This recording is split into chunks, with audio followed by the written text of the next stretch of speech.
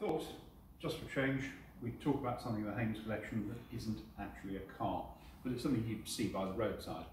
Um, now, in the era of the iPhone, it's actually quite easy to forget that back in the day, if you wanted to make a phone call, you probably wouldn't have a phone at home.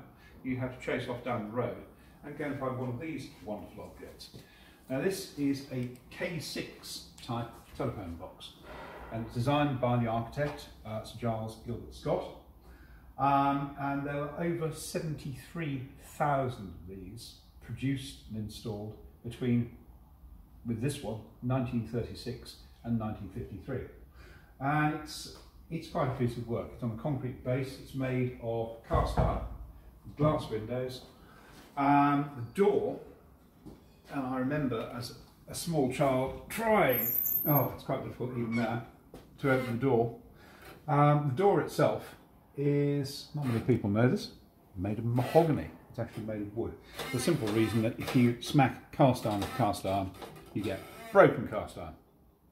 And then in the box itself, you have got the phone.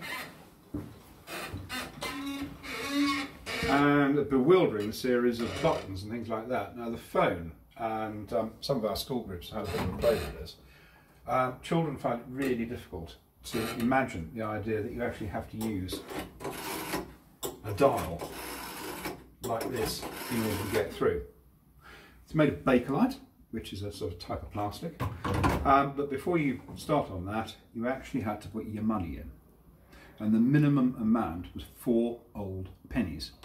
So you put the money in, and then dial the number, and then if you got through, you pressed button A. And that made the money drop into the, uh, the box and you could make your call. Um, if you didn't get through, you press button B and you got your money back again.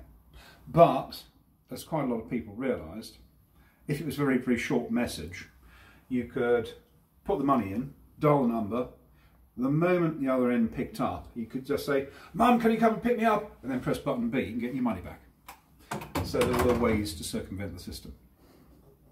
But it is a wonderful thing. Um, I know they got into a bit of a state, particularly in latter years, um, when you know these things used to stink and they were full of fag ends and they, and they really weren't particularly pleasant. But they are you know a spectacular bit of British history. Um, they were finally decommissioned from about 1985. That's when BT comes in. and You get those weird sort of glass and uh, stainless steel sort of shower stalls being used for phone boxes. Um, and then eventually these, apart from about 2,000 that were listed, uh, were uprooted and sold off. And these days people have them as shower stalls in their homes. Um, some of those are still in place, used for defibrillators. There's one in a village not far from here, which is actually a little um, um, book exchange, sort of lending library type thing. But wonderful old things. This one you can tell this by the crown on the top was actually produced between 1936 and 1953.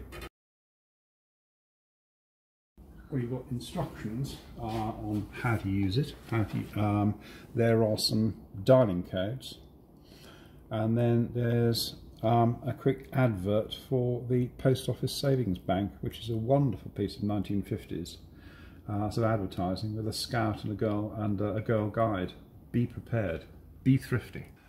The last time I used a phone box was in a place called Port Scatho down in Cornwall, which is a delightful little village. Uh, we used to go on down holiday down there. The signal was rotten. Um, that would have been probably about 1995.